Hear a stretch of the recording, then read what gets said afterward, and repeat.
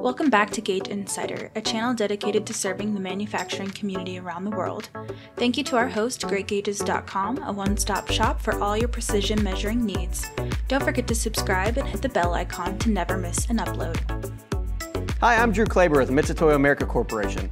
On today's tool tip, I'd like to show you how to install a U-Wave receiver.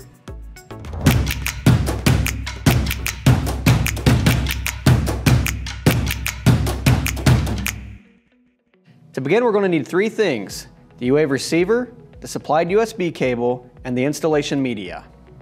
Begin by plugging the supplied USB cable into the U-Wave receiver. You'll notice the power light is not illuminated. Next, we'll need the setup media. For this example, I've already copied the files and folders to my desktop.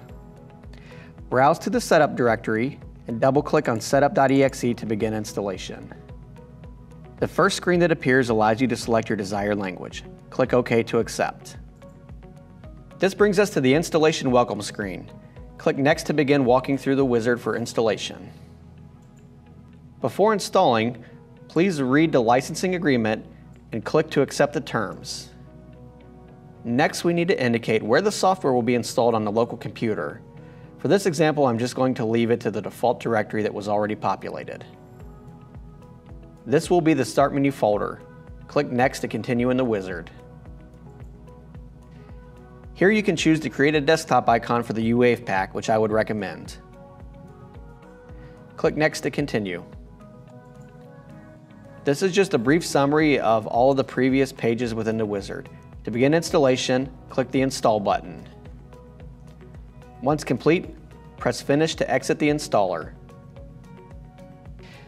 Notice the power light is still not illuminated. Now we need to install the drivers for the U-Wave receiver. To install the drivers, load Device Manager. Two drivers will need to be installed. The first driver will be for the Mitutoyo UA, which can be found underneath the Other Devices folder. To begin installing the driver, right-click on Mitutoyo U-Wave and select Update Driver Software. Next, select Browse My Computer for driver software. Next, we need to browse out to the folder that contains the drivers. This will be the same folder that you installed U-Wave Pack 2. Start by browsing to the C drive, select the Mitutoyo folder, followed by the U-Wave Pack folder, and click OK.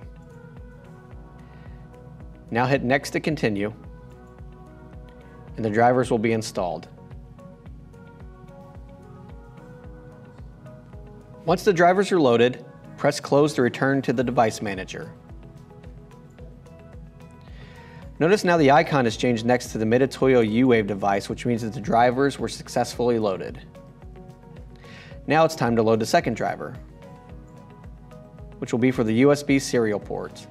Like before, we're going to right-click on USB serial port and select Update Driver Software. Select Browse My Computer for driver software, but notice the folder is still here from the last driver we installed. All we have to do at this point is select Next. Once the drivers are loaded, press close to return to the device manager. And again, notice that the icon has changed next to the Mitutoyo U-Wave for virtual COM port number 4. Your COM port may be different than mine. At this point, we can close out of the device manager. If this is a new installation, you'll notice that the red and green LED lights are alternating. This indicates that the receiver needs to be initialized. Now we're ready to launch the U-Wave pack using the desktop icon. To begin setting up the receiver, press the Setup Start button.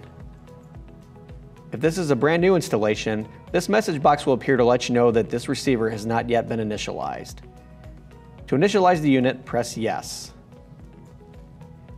These are the default settings for the receiver. Unless you have a reason to change them, click OK to continue.